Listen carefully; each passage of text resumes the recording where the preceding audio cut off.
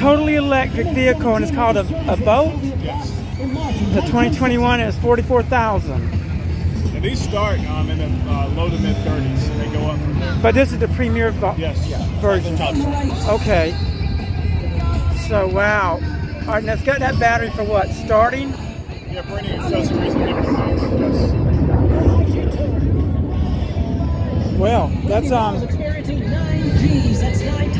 Experiencing nine Gs, that's nine times. And where's the regular batteries located at? Where's the regular batteries, the full battery stock? It's under the car. The actual oh, battery that powers the car is under the vehicle. Okay. So that's fully electric. To make you climb up to 30,000 feet. Interesting. Fully electric at the air show. All right, man. I appreciate that information. Thank you, sir. Appreciate it. Total electric. Total electric. No gas at all. Premier 44,000. Thanks, Biden. Yeah. No thanks.